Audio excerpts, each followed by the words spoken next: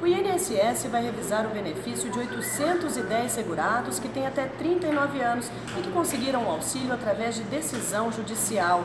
A notificação para agendar uma nova perícia será feita através de carta. Por isso é importante manter o endereço atualizado no cadastro junto ao Instituto. A matéria completa você confere logo mais no Jornal Tarobá.